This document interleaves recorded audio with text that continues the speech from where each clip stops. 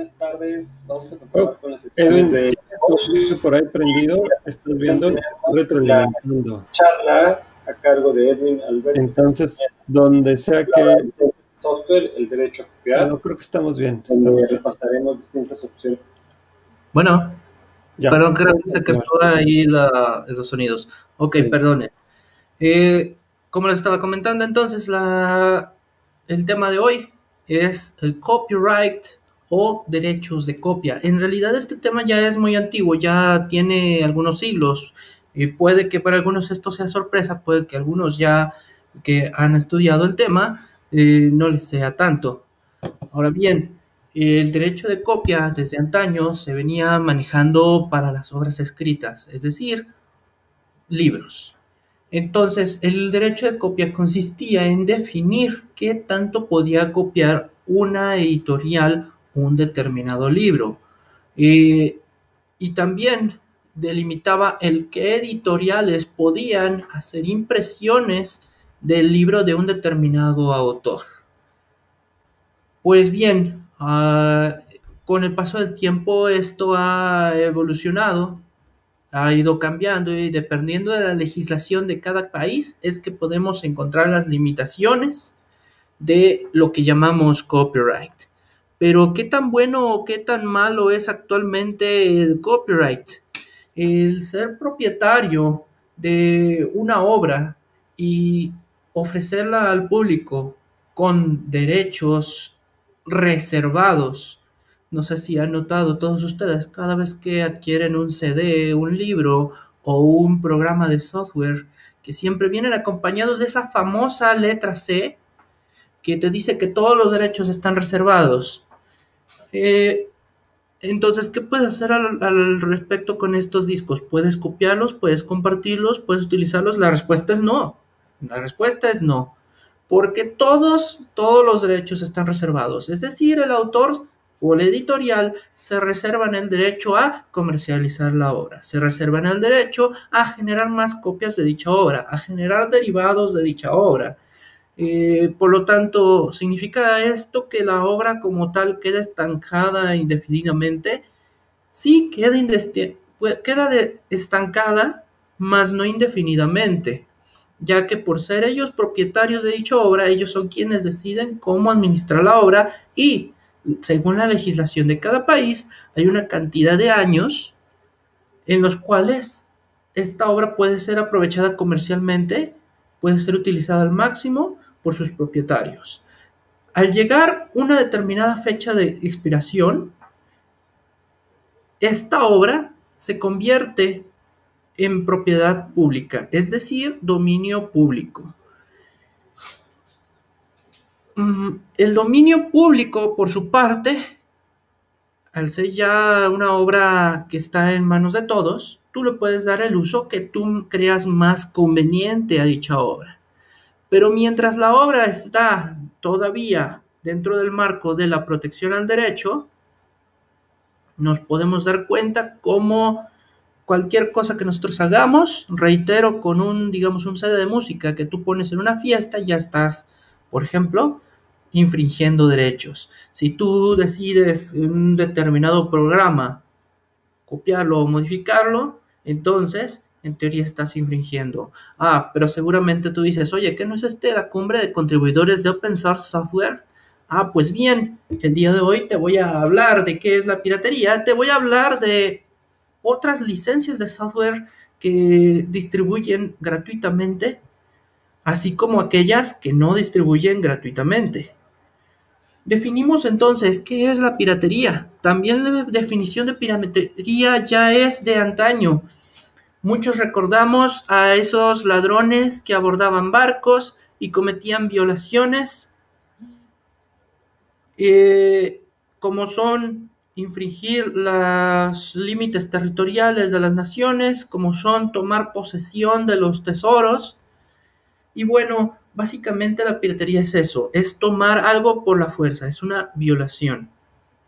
Entonces, significa que si yo copio un disco de mi programa favorito, mi canción favorita, eh, soy un, un pirata o un violador.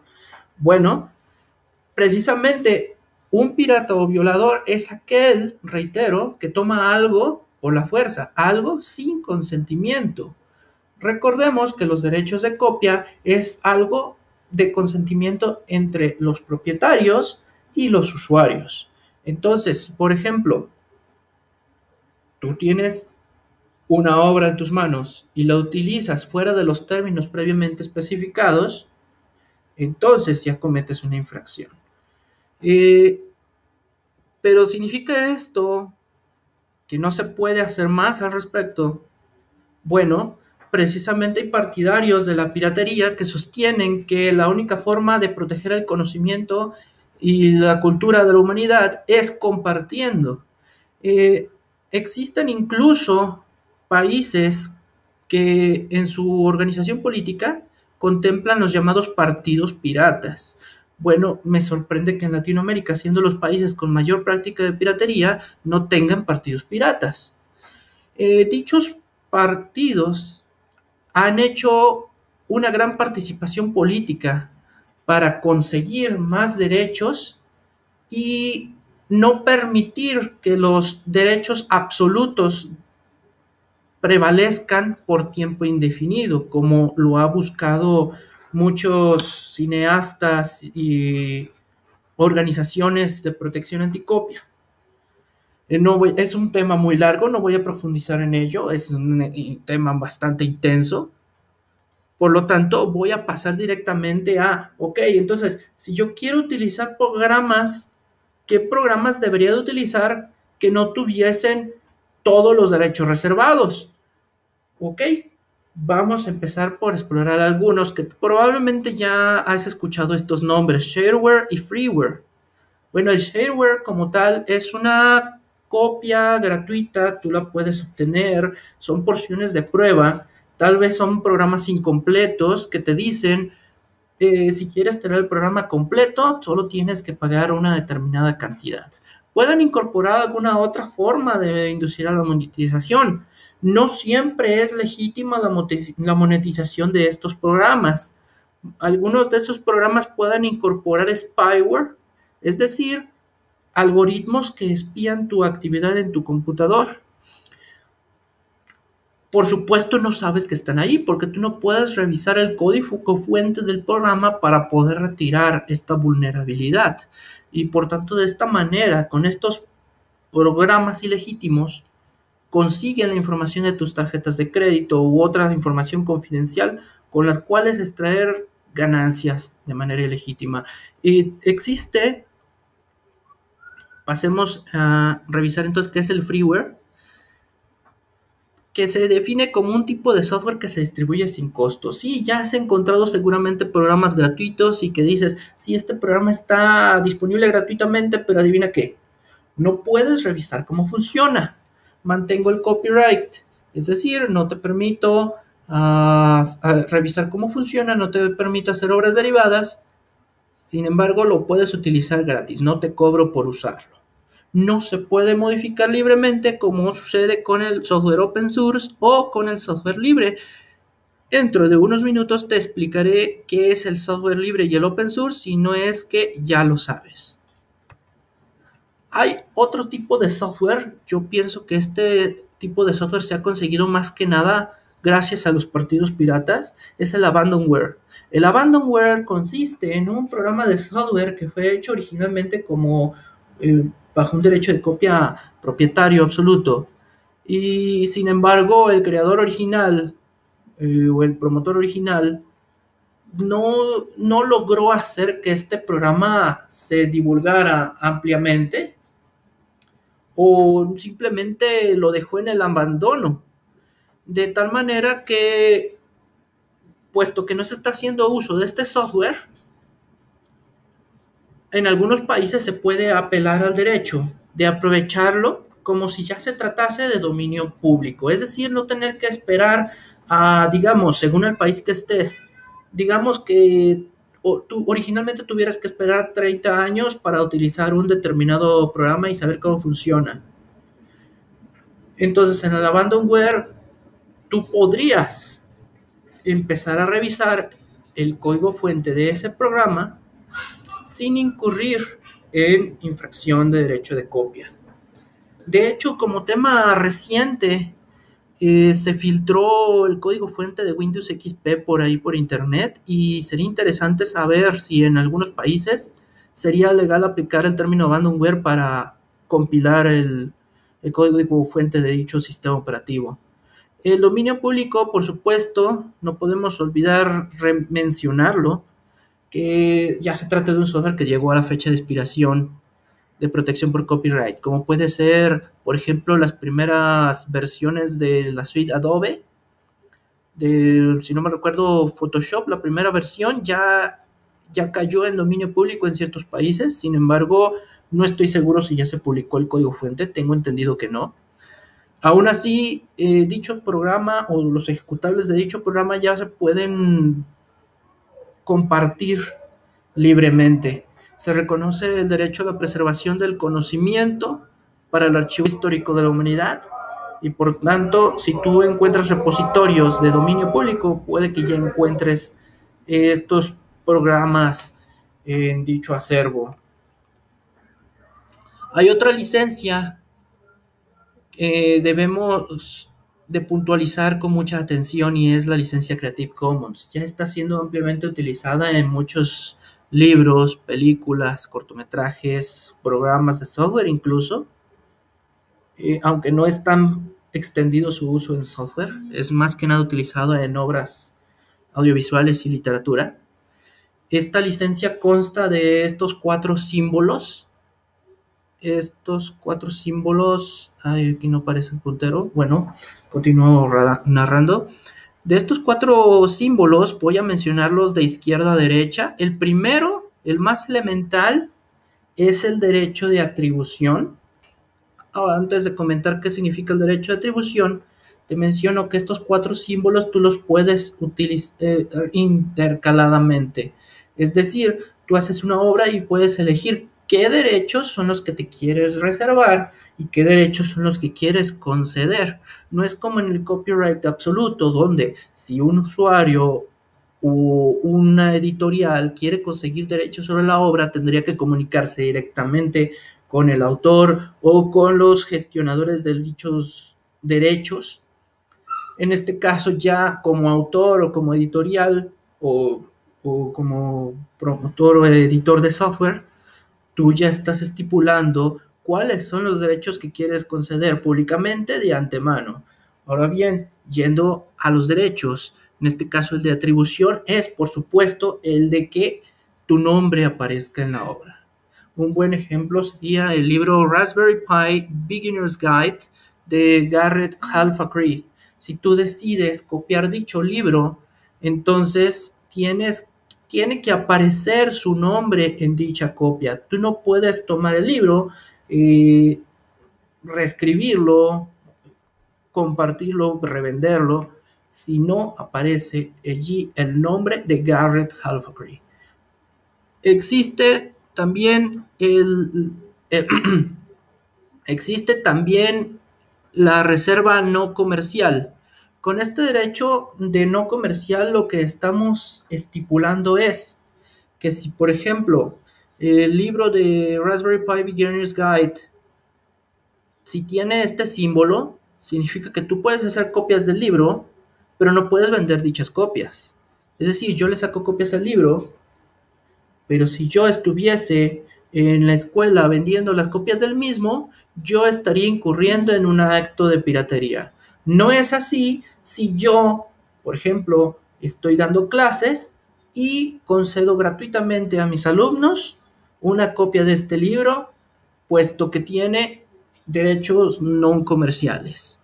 Este tercer símbolo que está aquí, con el símbolo de igual, dice, no, alcanzo a ver el texto, pero si, si no mal recuerdo, dice no derivativo.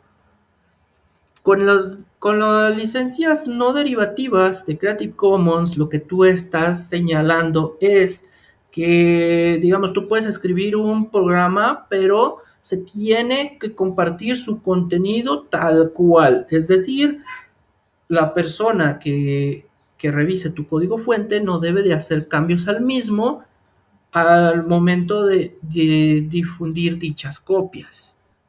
Tal vez cambios para su uso personal, pero no debe de difundir dichos cambios. Entonces tú eres libre de imponer este derecho a tu obra. Y también existe un último símbolo entre los cuatro que podemos ver en esta diapositiva, que se llama Share Alike.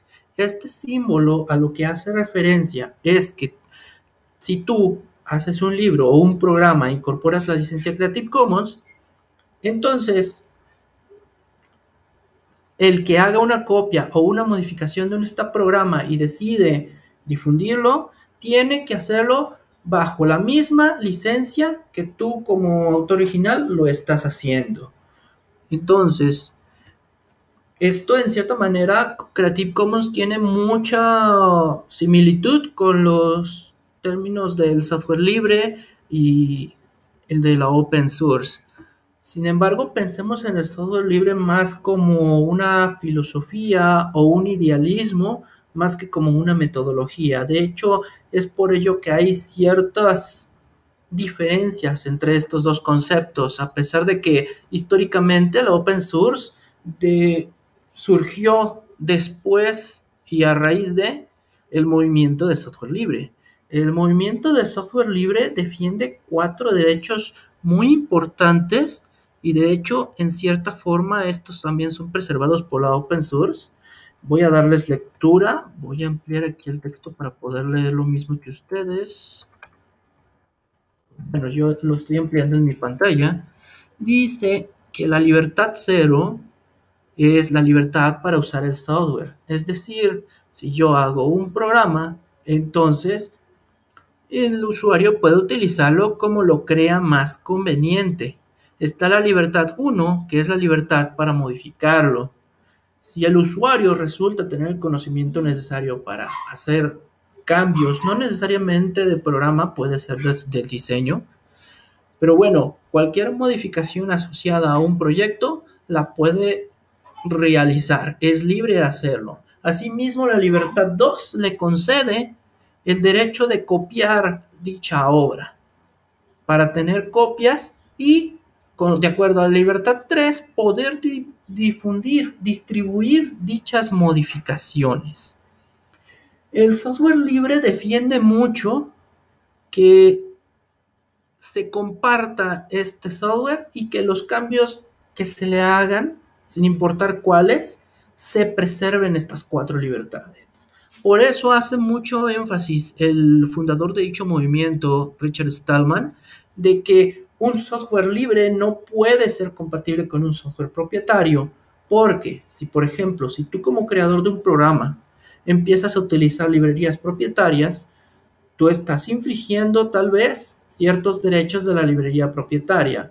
O si tú difundes tu programa por el hecho de que tú programa incluye también librerías propietarias, entonces no podría tu programa enteramente ser utilizado o recompilado por el usuario y por lo tanto se pone en riesgo el uso absoluto de las cuatro libertades.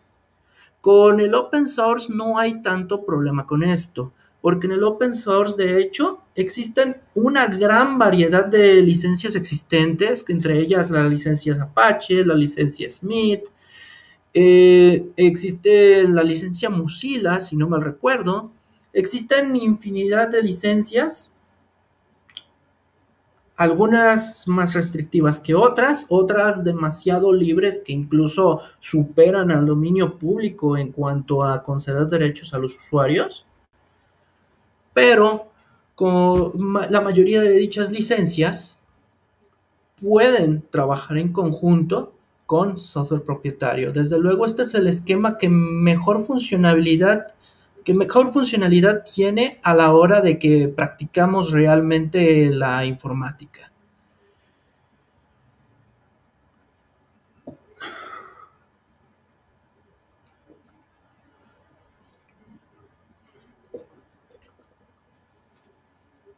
Si tú tienes un programa y alguien más, un tercero, con un programa propietario decide utilizar tu programa, dependerá mucho de tu licencia si esta tercera persona está infringiendo o no tus derechos de copia. Si esta tercera persona involucra software libre en su código, está cometiendo una infracción de copia. Por lo tanto, es un acto de piratería.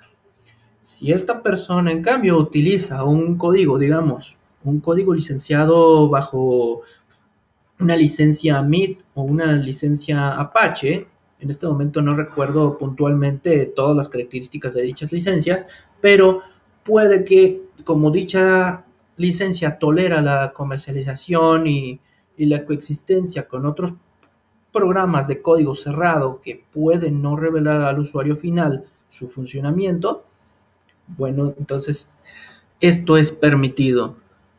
Paso a la siguiente diapositiva, donde hablamos brevemente de algo muy interesante que es la respuesta que han tenido los gobiernos respecto a la copia como tal. Muchos gobiernos, al igual que la mayoría de las personas en el público en general, asocian la palabra copia con la palabra piratería. Asocian la palabra copia directamente con la palabra robo sin discernir el cuándo sí o cuándo no es un acto de piratería. De allí a que hace algunos años el gobierno de Estados Unidos haya montado un operativo para desmontar un sitio muy conocido internacionalmente llamado megaupload.com. En dicho sitio lo que se hacía era subir contenido, subir archivos. Todos los usuarios podíamos subir archivos de video, podíamos subir texto, podíamos subir audio. Sin embargo, muchos de los, de los usuarios hicieron mal uso de dicha plataforma al subir contenido con todos los derechos reservados. De allí a que apareciera este letrero que estamos viendo en la diapositiva, y que todos los, todos los servidores con los archivos que fueron subidos a dicha plataforma fueron confiscados por el gobierno de Estados Unidos. Otro ejemplo asociado ya más directamente con el software libre y el open source. Eh, bueno, antes de mencionarlo, debemos reconocer que hay muchos gobiernos, como por, como por ejemplo, y más principalmente en Estados Unidos y Europa, donde precisamente se ha impulsado el uso de software libre y de open source a nivel de gobierno. Entonces, dichas, dichas empresas, ah, ya también aquí en nuestro país, ya eh, dichas empresas o dichos gobiernos o dependencias gubernamentales ya tienen estipulado el uso de software libre para cumplir con sus funciones. Aquí en nuestro país, en México, eh, si bien ya se ha hecho uso de software libre en dependencias de gobierno como puede ser el SAT, todavía hay un largo camino por recorrer para que se le dé una amplia aceptación, como por ejemplo hace pocos años en, la Cámara Legislativa del Gobierno del Estado de Jalisco se debatió sobre si el software creado con fondos públicos debía ser licenciado como software libre o de código abierto. Por supuesto, en la Cámara Legislativa hubo detractores argumentando erróneamente que el permitir al público copiar un programa sería promover la piratería y sería ahuyentar a la creatividad. Sin embargo, no es así y si no sabes nada sobre el open source y software libre, te invito a que investigues al respecto y hagas preguntas, pues esta es una cumbre y todas tus preguntas son bienvenidas. Entonces, realmente hay que entender a profundidad, eh, investigar lo más posible qué programas podemos sí copiar o no copiar y como desarrolladores de software también debemos investigar en qué proyectos se puede o no abrir un código, compartirlo y hacer variantes. De hecho, esta cumbre te invita a que participes, aprendas cómo leer eh, el código de un programa o las necesidades de diseño de un programa e incorpores tus cambios, hagas tus propuestas de cambios y de esta manera tú puedes participar en el desarrollo del mismo. Eh, creo que ya se nos terminó el tiempo. Muchas, muchas gracias por tu atención